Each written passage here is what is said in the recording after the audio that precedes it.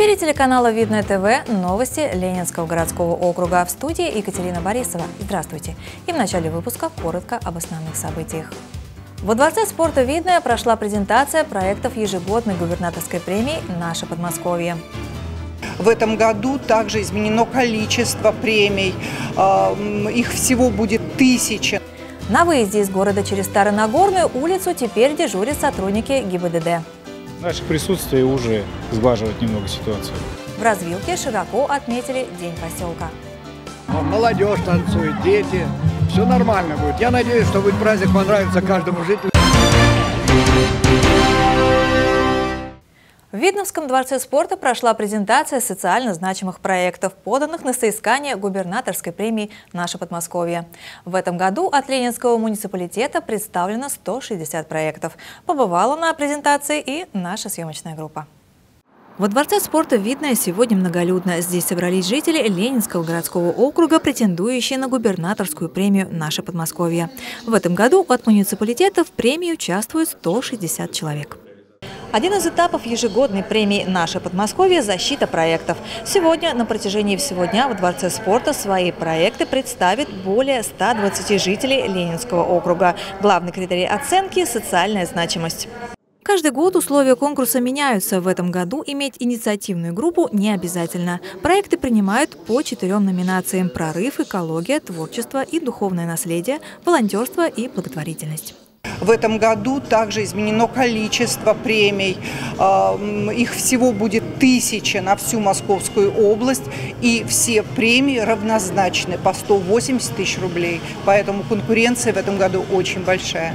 Юрий Шиловский – учитель технологии в Бутовской школе номер два. На премию он пришел с очень важным проектом – проблемой утилизации так называемых мусорных хвостов, всего того, что остается после сортировки отходов.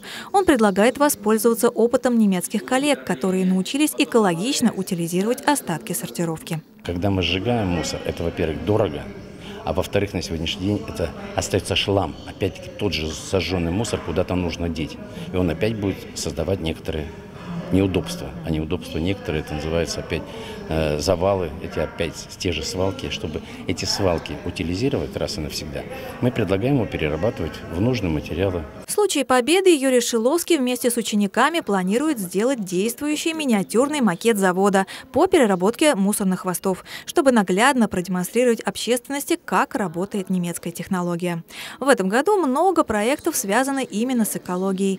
Например, эколог Андрей Букин в своем проекте предложил на территории муниципалитета развивать лечебные сады, высаживая как можно больше зимостойких грецких орехов, которые оказывают благотворное влияние на органы дыхания и нервную систему.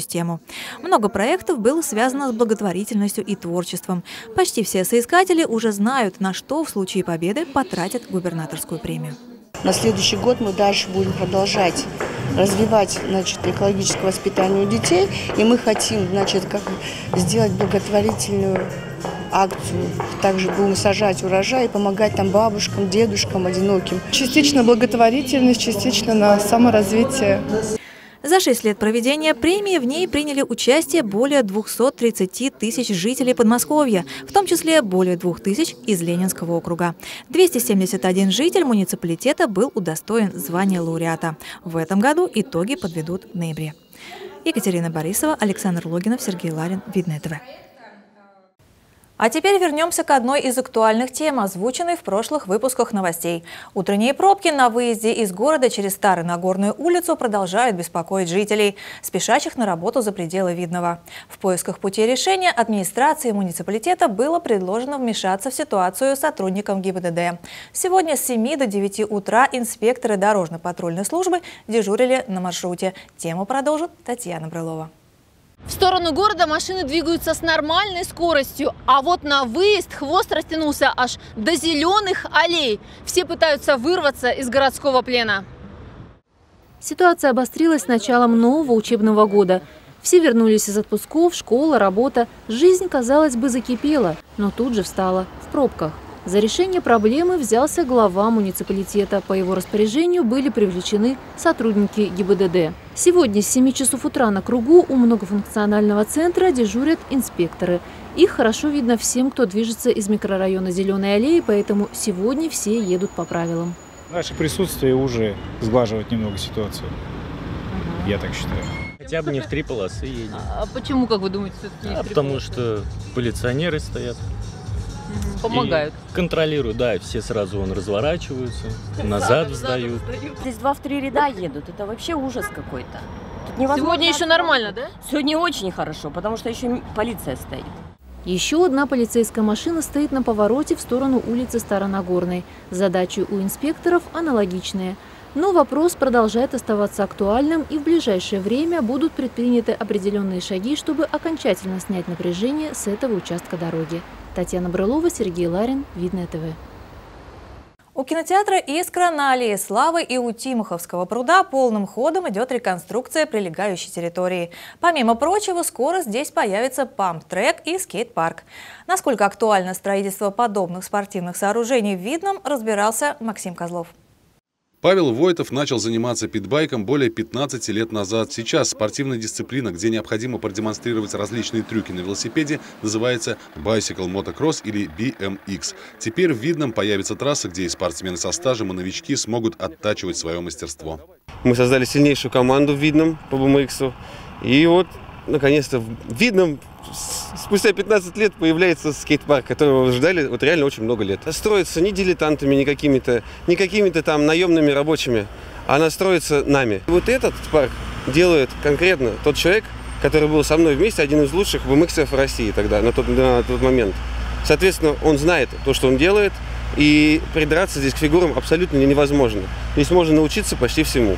Памп-трек – это трасса, на которой чередуются ямы, кочки и склоны, не содержащие ровных участков. Скейт-парк – площадка с различными объектами, имеющими уклоны. Но пока не строятся, многочисленные поклонники трюков на двухколесных средствах передвижения тренируются где придется. Например, начинающие райдеры Максим и Дима устроили скейт-парк во дворе школы. Ну а какой-то уже такой прям профессиональный нужен? Ну, его около искр строят. Ну и как ты думаешь, он пригодится тебе? Да. Неудобно просто ездить там, вот это вот все трюки делать. Ну, нужен специальный скейт-парк там. Павел Войтов уверен, скоро ребятам будет где развернуться. Он не только ведет активную спортивную деятельность, но и тренирует молодежь, в том числе и своего четырехлетнего сына Мишу. Опытный спортсмен не понаслышке знает, насколько актуальна проблема скейт-парков и памп-треков не только для Видного, но и для всей России. Раньше был только велики, и скейт, э, и ролики. Сейчас ролики ушли на план, появился самокат. Самокат заполонил всю Россию. Это самый тренд, в принципе, сейчас э, по популярности. Это самокатный, вот трюковой самокат. Соответственно, детей стало вот в разы больше. Появился вот еще беговел плюс до кучи. Они тоже катаются в парках и делают трюки, реальные элементы. Еще одна группа райдеров на постоянной основе тренируется в центре Видного. На небольшой площадке перед районным центром культуры и досуга ребята пытаются изучать несложные трюки. В целом получается неплохо, но все же место не приспособлено для таких занятий и хочется чего-то большего. У друга взял велосипед, и очень сильно понравилось кататься, и в итоге собрал свой велосипед.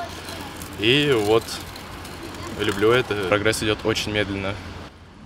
Ну вот у Искры строят, как на ваш взгляд? Вы, я думаю, так хоть краем глаза-то уже видели. Как на ваш взгляд, там это будет действительно интересно, эффективно? Да, я видел, на самом деле, да, очень круто. Сейчас хоть и не полностью построено, но со стороны выглядит круто. Сначала просто катался, но как-то особо ничего не умел. Потом познакомился с ребятами, которые хорошо катаются, и начал что-то пробовать, и вот получается, вот как мне это нравится. Тут тяжеловато на ну, скейт-парке, вот, который у нас строят около Искры, все-таки будет прогрессировать более легче и безопаснее. Все, что я ну, учился, я учился на улице. Ну а сейчас с появлением парка, как думаете, прогресс получше пойдет? Да, конечно, была бы еще защита. Так и без защиты катаюсь. Безопасность действительно превыше всего. Трасса для памп-трека у «Искры» еще не достроена, а потому передвигаться по ней следует с особой осторожностью. Несмотря на юный возраст, Миша Войтов уже имеет опыт выступления в соревнованиях, пусть и любительских. А потому отец позволяет ему немного проехаться по трассе в ознакомительных целях. Мы мечтать даже не могли о таком э, в 4 года. Вот ему сейчас 4 года исполнилось, я думаю, мы даже не думали в свои года, то, что такое может быть. Такое возможно. Он уже просто пытается Вообще. сделать какие-то трюки, там что-то развернуться куда-то. На улицах Видного огромное количество ребят, которые просто катаются на самокатах, скейтах и велосипедах, но немало и тех, кто хочет серьезно заниматься трюками и отрадно, что скоро им будет где оттачивать свое мастерство. Максим Козлов, Александр Логинов, Ольга Садовская. Видное ТВ. Наш мобильный репортер на этот раз отправился в шестой микрорайон, где в рамках проекта «Твори добро» видное для жителей был организован праздник. Назвали мероприятие «Музыка лета» и не случайно все в нем было под музыку. Игры с детьми, конкурсы, танцы и, конечно, песни. Где без спроса ходят гости, Где нет зависти и злости, Милый дом Участвуя в танцевальных мастер-классах, все желающие могли научиться новым интересным движениям. Кстати, охотников потанцевать было немало, и среди них не только вездесущая детвора, но и взрослые. Танцевали чуть ли не весь день, и даже заход солнца никого не остановил. Напротив, вечерний приглушенный свет добавил изюминку.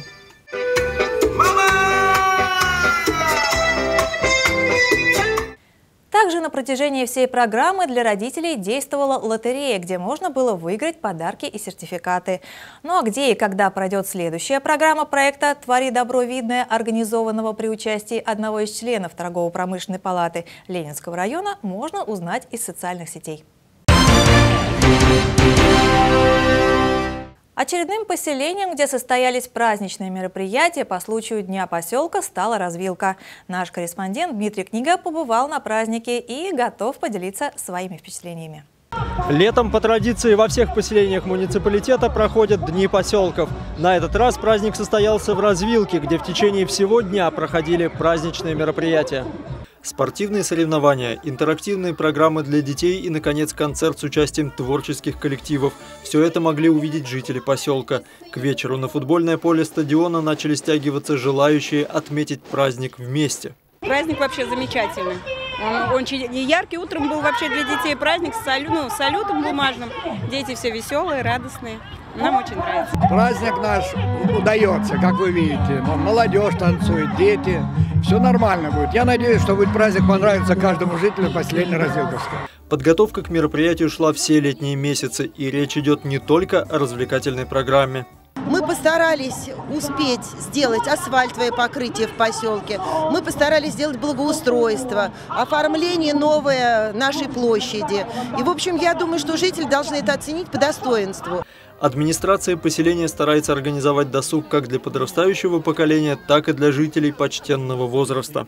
Во-первых, отмечаются все праздники, библиотеки. И есть нам э, «Года не беда», День матери, пожилого человека. Все праздники, и мы все участвуем, и администрация участвует. Все, мы все вместе.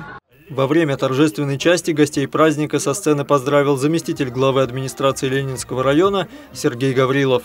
Дорогие друзья, День поселка – это праздник общий. Касается он всех, кто здесь родился, кто здесь вырос, живет, работает. Для тех, для кого эта земля является малой родиной. И в том числе для тех, кто эту территорию, этот наш поселок построил. Я имею в виду наших дорогих ветеранов-первостроителей.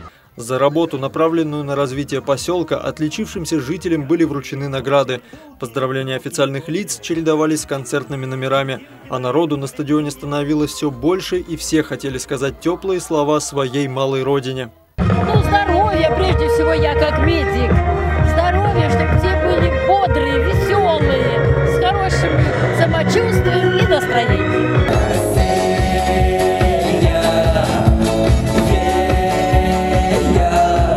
Концерт продолжался до позднего вечера и завершился салютом. Дмитрий Книга, Сергей Ларин, Ольга Садовская, Видное ТВ.